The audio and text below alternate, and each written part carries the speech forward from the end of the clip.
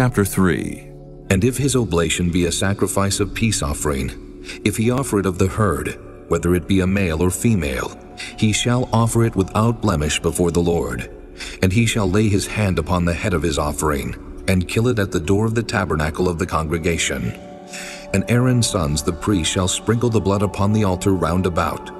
And he shall offer of the sacrifice of the peace offering an offering made by fire unto the Lord, the fat that covereth the inwards, and all the fat that is upon the inwards, and the two kidneys, and the fat that is on them which is by the flanks, and the caul above the liver, with the kidneys, it shall he take away.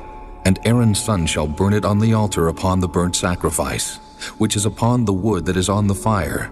It is an offering made by fire, of a sweet savor unto the Lord. And if his offering for a sacrifice of peace offering unto the Lord be of the flock, male or female, he shall offer it without blemish. If he offer a lamb for his offering, then shall he offer it before the Lord. And he shall lay his hand upon the head of his offering, and kill it before the tabernacle of the congregation. And Aaron's sons shall sprinkle the blood thereof round about upon the altar.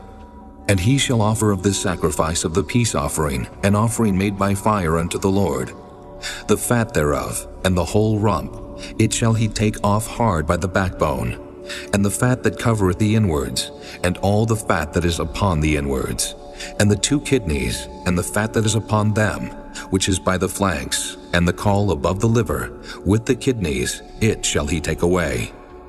And the priest shall burn it upon the altar. It is the food of the offering made by fire unto the Lord. And if his offering be a goat, then he shall offer it before the Lord. And he shall lay his hand upon the head of it, and kill it before the tabernacle of the congregation. And the sons of Aaron shall sprinkle the blood thereof upon the altar round about. And he shall offer thereof his offering, even an offering made by fire unto the Lord, the fat that covereth the inwards, and all the fat that is upon the inwards, and the two kidneys, and the fat that is upon them, which is by the flanks, and the caul above the liver, with the kidneys, it shall he take away. And the priest shall burn them upon the altar. It is the food of the offering made by fire for a sweet savor. All the fat is the Lord's. It shall be a perpetual statute for your generations throughout all your dwellings, that ye eat neither fat nor blood.